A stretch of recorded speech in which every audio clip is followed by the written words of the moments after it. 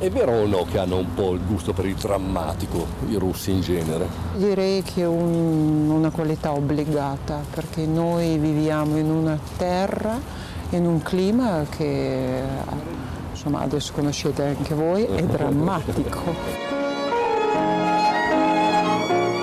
Dunque sul proscenio e nella realtà lo spirito russo è drammatico.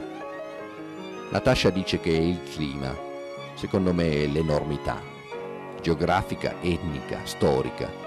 Tanto, tantissimo, molta roba.